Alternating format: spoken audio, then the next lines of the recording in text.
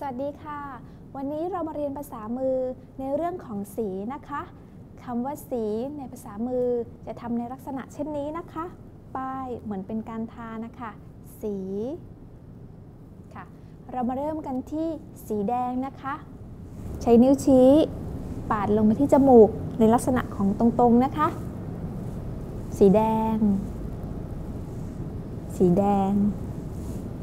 สีดำนะคะ ป้ายที่คิ้ว สีดำ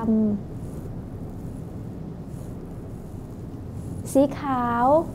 นิ้วชี้ปาดไปที่แขนลงมาแบบนี้นะคะ สีขาว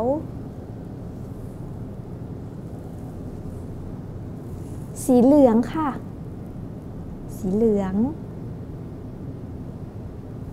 สีเขียวนะคะ สีเขียว สีฟ้า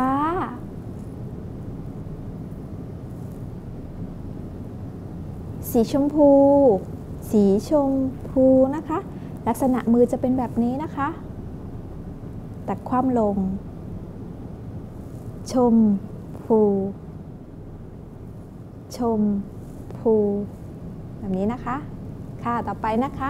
สีน้ำตาล สีน้ำตาลนะคะ ลงข้างแก้มนะคะ ตรงๆนะคะ สีน้ำตาล สีส้ม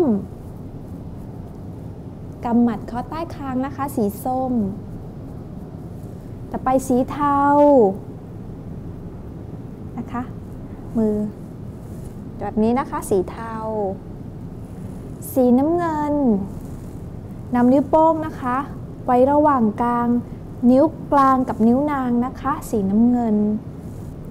สีน้ำเงิน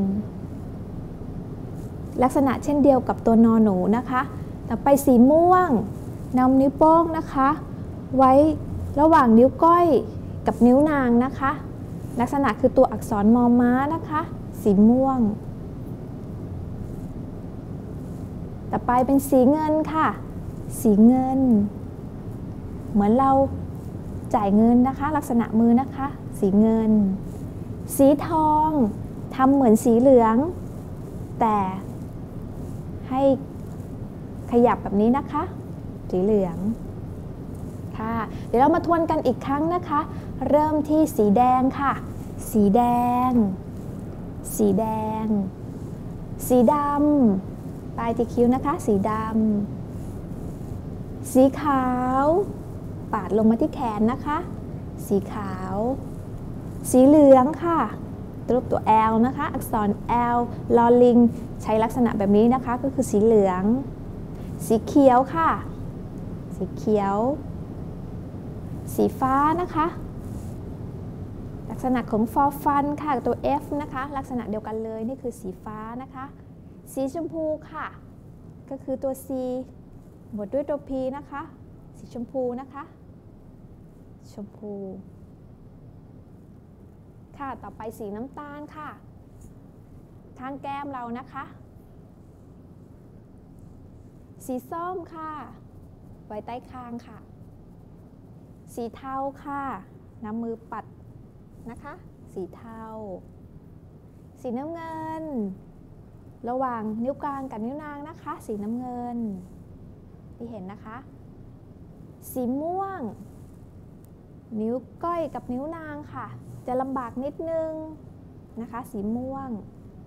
สีเงินค่ะ สีเงิน แล้วก็สีทองค่ะ สีทองค่ะ เป็นไงคะไม่ยากนะคะ ลองฝึกกันดูนะคะสำหรับวันนี้ สวัสดีค่ะ